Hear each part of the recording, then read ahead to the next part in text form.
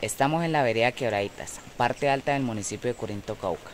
Es una zona con un contexto bastante difícil por diferentes aspectos, mas sin embargo, por medio de las aves hemos querido visualizar y poder aportar significativamente a las comunidades, para así tener una relación sana y, y vivir en armonía con la naturaleza.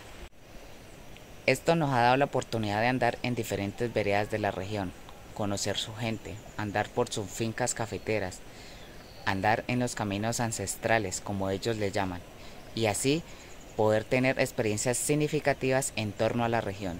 Mi nombre es Javier Andrés Joaquí, mi rol en la miniserie es de director.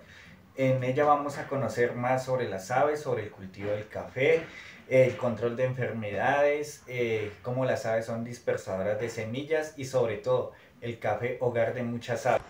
Mi nombre es Hamilton Dicue y soy el guionista de este documental. Aquí van a disfrutar de las montañas de Corinto, esta vez desde la vereda Las Cruces y al fondo la vereda Yaromales.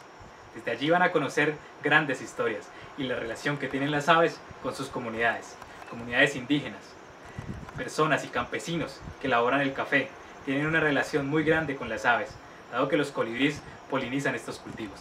Luego de los acuerdos de paz, se crean nuevos retos, nuevos desafíos, y nosotros como Natuaves hemos decidido aceptarlos hemos decidido buscar en la comba al palo, ser parte de la solución no del problema.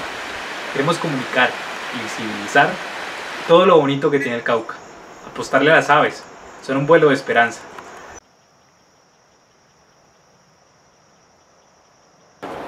A través de este documental van a conocer las diferentes creencias que tenemos las comunidades alrededor de las aves además de su rol que tienen en el medio ambiente y la importancia para los agricultores.